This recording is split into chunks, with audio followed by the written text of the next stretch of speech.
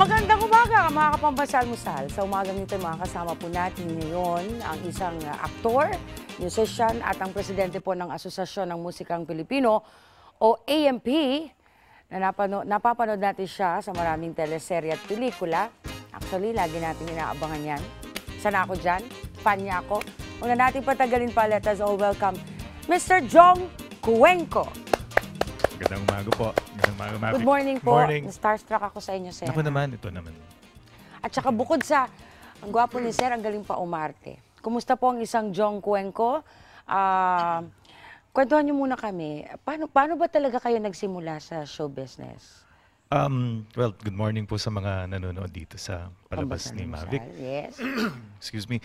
Um, actually kasi yung pamilya namin sa showbiz eh. Yung father ko, my late father, um, musical director siya sa mga pelikula. So doon po nag-umpisa yung um, paglabas-labas ko sa pelikula. Noon, Pelikula, bata oo. pa ako, sinasama-sama niya ako pag nakikipag-meeting siya kila FPJ, kila Mm, dating mm. Presidente Erap. Yun kasi yung mga ginagawa niya ng mga music Before, sa pelikula. Oo. Doon ako nag-umpisa. Tapos eventually, after a few years, si kay Randy Santiago naman. Sa Nasa dugo na rin pala talaga. Oo eh, no? nasa Sir pamilya na namin. Okay. Pansin ko lang na you are more into um, more of ano, music than acting. Than, ano, no?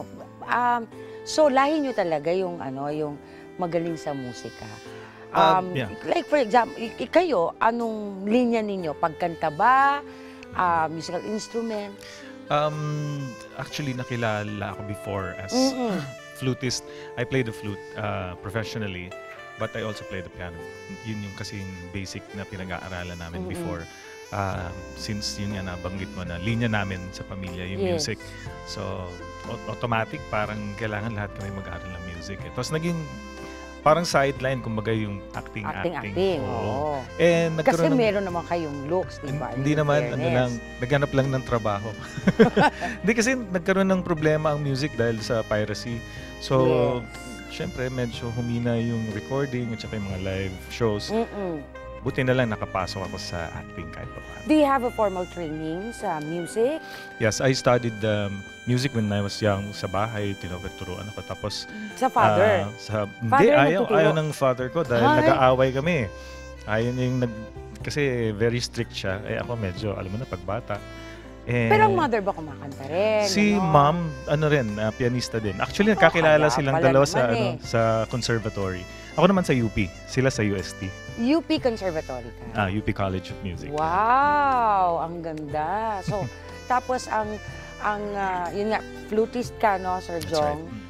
Tapos minor mo siguro piano-piano. Correct. ganyan. Tama. Although nung bata ka, nag, nag, ano ka na. Yun ang nagumpisa ako sa piano. Bakit ayaw ng father? Eh, mahirap daw ang buhay ng musiko eh. Ah, Talaga? oo, oo. Pag- actually, mahirap naman talaga. Pero Diba, siguro, Ano, nasa dugo mo oo eh. nga eh, eh, parang ang pinakain sa'yo araw-araw musika. So parang doon na nagtuloy. So, Correct. ang gusto niya sa akin talaga maging lawyer. At least sa TV ngayon nagaganap ko yung Pagiging, oo. pagiging lawyer sa Pagiging mga character teleserye. mo. Oo. Pero okay, flutist, pero hindi ka nag kumakanta, ganyan. Or kumakanta ka rin, but uh, more of ano na lang.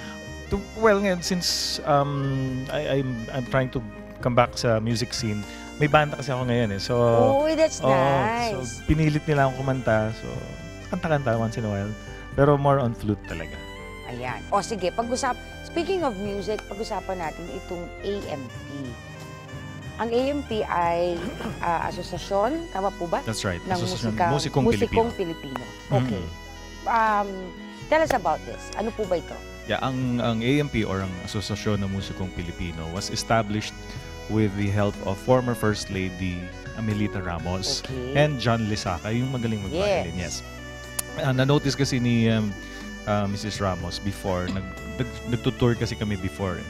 Um, sabi niya, wala, wala bang guild or, or association Grupo. for musicians? Kasi nakita niya yung, yung hirap ng ah, musician, yung professional musician, medyo hindi kami organized. Ganun. Sabi why don't we put up something with her help, nakapagbuo ng organization na to.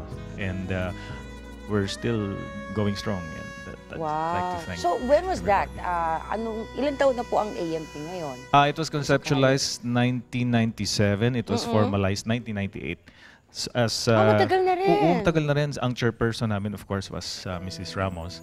John Lesaca was the vice chairman. Ako yung first president ng AMP. Okay.